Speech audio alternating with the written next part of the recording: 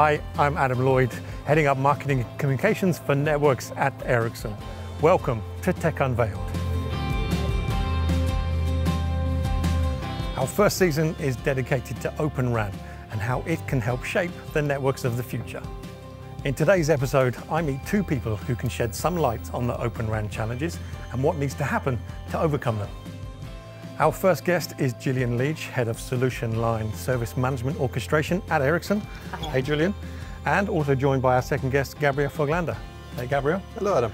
Gabriel is looking after many aspects of our Open RAN product portfolio. We have a lot to talk about, so I think we should go and grab a coffee. Let's do that.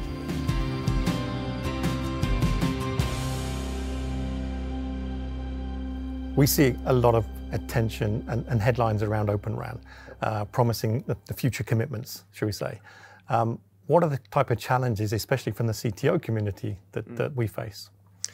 Well, I think we try to condense it into three main areas. So we have one we call adoption, one is deployment, and the third one is interoperability. I think between the three, you cover quite a big spectrum.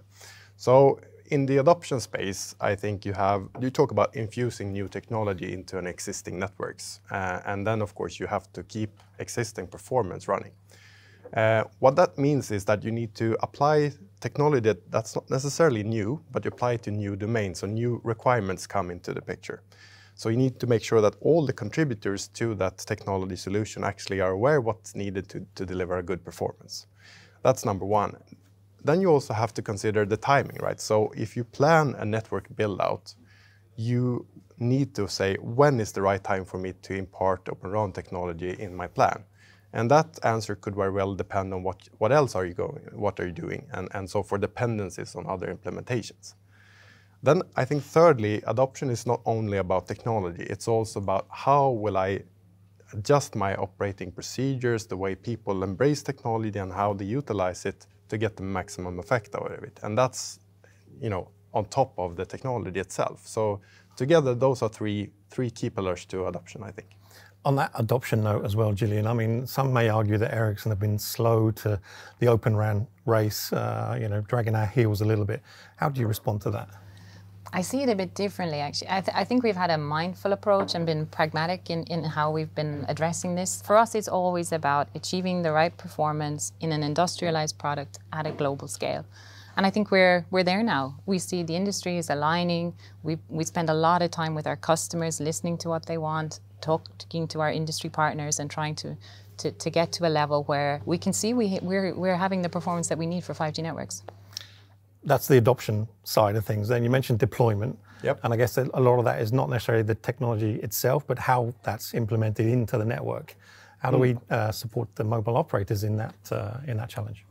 I mean, so the, the ultimate objective, as we discussed, is a high performing network. And, and I think with integrated RAN, we have had uh, 20, 30 years to accumulate experience together with our customers and partners on how to, to achieve that what we need to do now is we need to in, take that knowledge and infuse it into an open RAN platform uh, together with, with other partners in the ecosystem.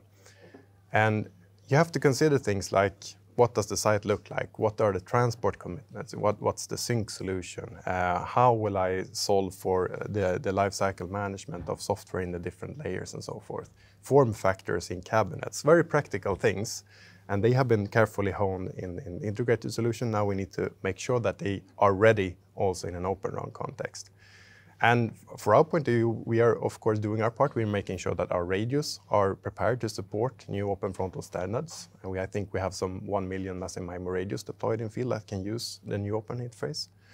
Um, but I, I, think this is just the, the first wave of deployment. And then I think the, the, the challenge that goes from that point onward is also the lifecycle management because here we will also be reliant on, on a new management and orchestration paradigm.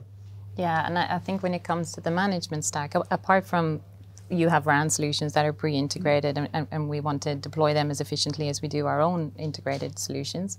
But we want to make sure that we, we do as much first time right when we go to sites so that together with the partners that, that we have in this space that we can actually avoid driving too much cost into the organization through costly um, services or, or revisit of sites. And when you look mm. at the management stack that ORAN have defined, it's a, it's a really good architectural blueprint, but the definition is too narrow actually for our customers to realize the TCO benefits that they need. So solutions in this space, I believe, need to be extended to also consider the install base, what's mm. already out there, both in LTE and 5G, in order to maximize the, the full potential of a horizontal architecture.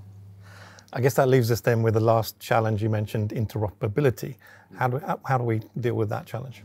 I think Gabriel will touch on the RAN side because where we need to, to do pre-integrated solutions. But we, we have a, not all interfaces are equally complex. So in the management space, I think while we have a really good suite of our own RApps that we'll, we'll offer to the market as a pre-integrated out of the box, we also have a platform play with the SMO that we're offering where we want to empower customers to develop use cases that they need to drive their business forward trying to speed up the pace of innovation and also um, offer an environment for third parties to actually reduce the barrier to entry so they can also offer their solutions to the to our customers. Yeah. On the RAN side, how, how does that look there?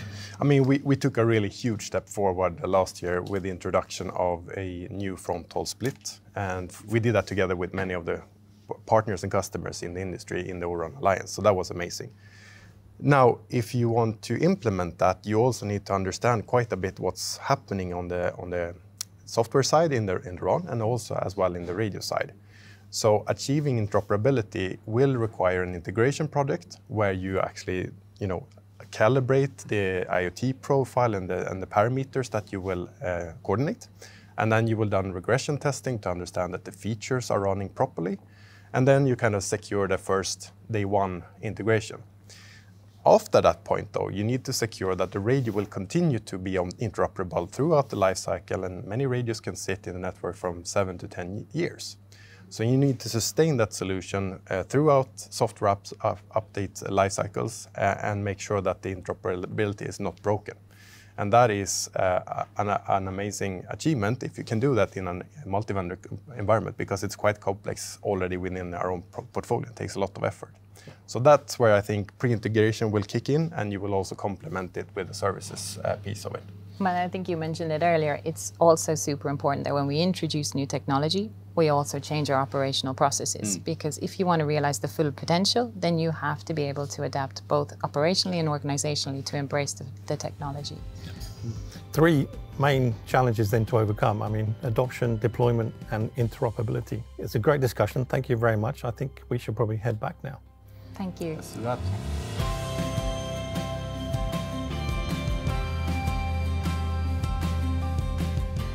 So a lot of challenges then as we chart the path towards large-scale open RAN networks. Yeah, saying interoperability is one of them. it's easy for you to say. Gabriel, Thanks Julian, thank you. Bye-bye. And that's it for today. Thanks very much for joining us. Don't miss the next episode as we dive deeper into the building blocks of the networks of the future. Until then, Goodbye.